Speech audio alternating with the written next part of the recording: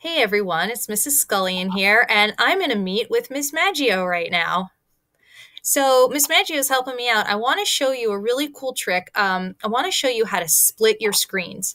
So you can see my desktop right here, and you can see that I'm in this tab with my Google Meet with Miss Maggio. And over here is the tab for Miss Agro's class. And what I want to do is, is I want to be in my Google Meet with Miss Maggio, but I also want to be able to look at my um, Google Classroom or Miss Agro's classroom. So what I'm going to do is, is I'm going to take this tab that is the Google Meet with Miss Maggio, and I'm going to click it, and I'm going to hold it down, and I'm going to drag it. See how Miss Maggio is getting dragged off to the side there? And it's going to snap off to the side.